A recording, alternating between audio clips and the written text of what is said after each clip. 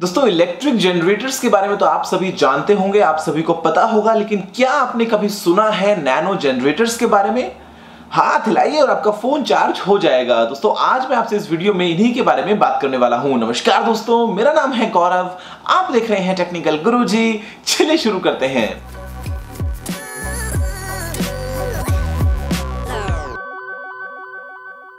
दोस्तों, जब से हमें पता चला इलेक्ट्रिसिटी के बारे में, या फिर मैं कहूँ दोस्तों, जब से हमने डेवलप किया पहला इलेक्ट्रिकल अप्लायंस तभी से इस फ़ील्ड में हमारे दो मेन ऑब्जेक्टिव्स रहे हैं। दोस्तों, सबसे पहली बात तो ये कि हम चाहते हैं कि एनर्जी को हमारे यूजेबल फॉर्म में हम बेस्ट पॉसिबल एफिशिएंसी के साथ में कन्वर्ट कर पाए, जो कि दोस्तों इस केस में है इलेक्ट्रिकल एनर्जी फिर चाहे वो विंड एनर्जी से आती हो, या फिर वो आती हो सोलर पावर से, लेकिन हम चाहते हैं कि वो दोस्तों हम बेस्ट पॉसिबल एफिशिएंसी के साथ में हमारे यूजेबल फॉर्म में जनरेट कर पाए। दोस्तों दूसरा ऑब्जेक्टिव है वो है अप्लायंसेस की एफिशिएंसी को लेके। हम चाहते हैं दोस्तों कि हम कोई भी अगर इलेक्ट्रिकल या फिर इलेक्ट्रॉनिक अप्लायंस बनाए, फिर चाहे वो बड़ी सी मोटर हो, या फिर दोस्तों आपके फ़ोन या फिर कंप्यूटर में लगी हुई एक छोटी सी चिप वो बेस्ट पॉसिबल वे में अपनी एफिशिएंसी दिखाए, कम से कम पावर कंज्यूम करे और बेस्ट पॉसिबल आपको आउटपुट दे, जिससे हम कम से कम एनर्जी को यूज़ करते हुए हमारा जो काम है वो कंप्लीट कर पाए। दोस्तों, इस केस में हमने बहुत ज़्यादा तरक्की करी है। पहले के जो हम डिवाइसेस यूज़ करते थे, फिर चाहे वो आपके इलेक्ट्रिकल डिवाइसेस हो या हो आपके इलेक्ट्रॉनिक डिवाइसेस अगर आप कंपेयर करें दोस्तों उनको अभी करंट जनरेशन से तो वो बहुत ज़्यादा एनर्जी कंज्यूम किया करते थे।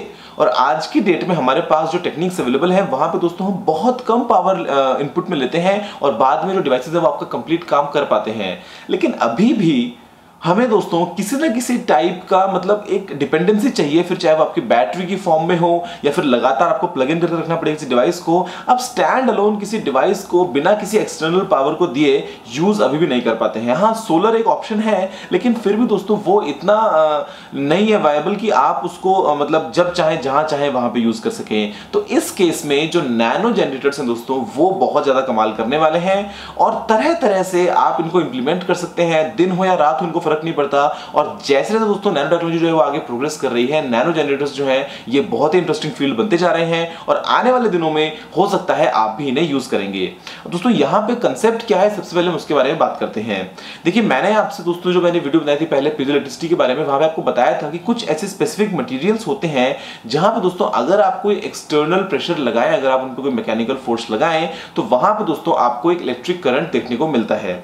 अब यही दोस्तों जो आपके मटेरियल्स हैं, इनको अगर हम नैनो स्केल पे फैब्रिकेट करें, इनको दोस्तों अगर हम बनाए नैनो वायर्स की फॉर्म में, और उसके बाद में आप इनको किसी भी फ्लेक्सिबल मटेरियल टाइप से दोस्तों इसको एम्बेड कर सकते हैं। आप बेसिकली शीट की तरह इनको प्रिंट कर सकते हैं। फिर चाहे आप इनको अपनी टी शर्ट्स के अंदर लगा लें।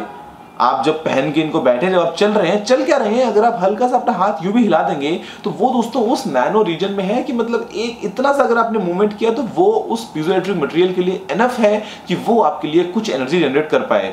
अब यहाँ पे मैं उस एक सिंगल दोस्तों नैनो वायर की बात नहीं कर रहा हूँ, मैं आपसे बात कर रहा हूँ millions and millions of nano wires की, बहुत सारे तरह तरह के क्लस्टर्स की, जो कि कंप्लीट आपकी क्लोदिंग में है।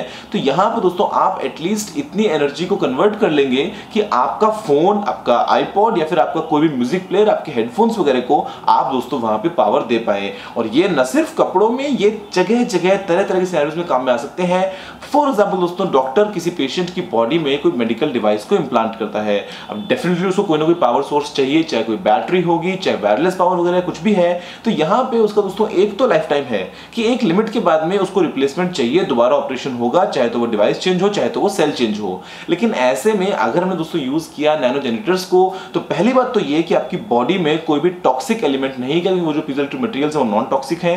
दूसरी बात दोस्तों, यहाँ पे ये कि आपका जो दिल धड़क रहा है, आपके जो फेफड़े फैल रहे हैं बार बार उनका दोस्तों मूवमेंट जो है वो इतना होगा सफिशियंट कि वो इतनी एनर्जी जनरेट कर सकें कि वो उस इम्प्लांट को बदले में पावर कर सकें। मतलब आपकी बॉडी की एनर्जी से वो डिवाइस यहाँ पे पावर देगा आपको जो बाद में आपकी बॉडी को ही ठीक रखने में आपकी मदद करेगा।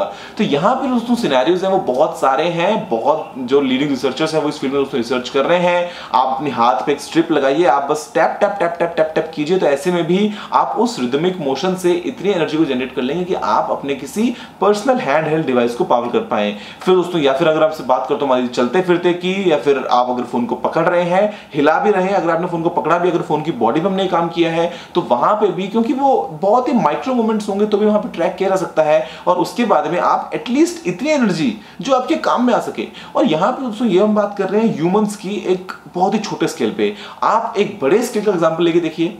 आप अगर अपनी विंडोज़ में वो मटेरियल लगाते हैं तो जो विंड प्रेशर है, वो भी दोस्तों एनफ होगा कि वो आपके लिए कुछ एनर्जी जनरेट कर सके। तो चाहे हम बात करते हैं ग्लास के ऊपर उसको कोट करने की, चाहे दोस्तों हम बात करते हैं किसी और बड़े स्केल की मतलब बड़े से बड़ा क्या हो सकता है, आप सोच के देखिए। तो यहाँ पर दोस्तों अगर हमें नैनो जनरेटर्स को यूज़ करें तो बहुत ही एफिशियंटली बिना किसी आ, मैं कहूँगा कि वेस्ट के आप एकदम क्लीन एनर्जी को दोस्तों यहाँ पे हार्वेस्ट कर सकते हैं जो आगे चल के हमारे बहुत काम आने वाली है। दोस्तों मुझे उम्मीद है कि नैनो जनरेटर्स के बारे में आपको वीडियो पसंद आया होगा। अगर आपको सवाल सुझाव हो तो आप नीचे कमेंट करना मत भूलिएगा। अगर दोस्तों आपने वीडियो को लाइक या शेयर नहीं किया है तो लाइक भी कर दीजिए शेयर भी कर दीजिए और चैनल को सब्सक्राइब करना मत भूलिएगा। फ़िलहाल के लिए इतना ही दोस्तों देखने लिए आपको बहुत बहुत धन्यवाद। जय हिंद वंदे मातरम।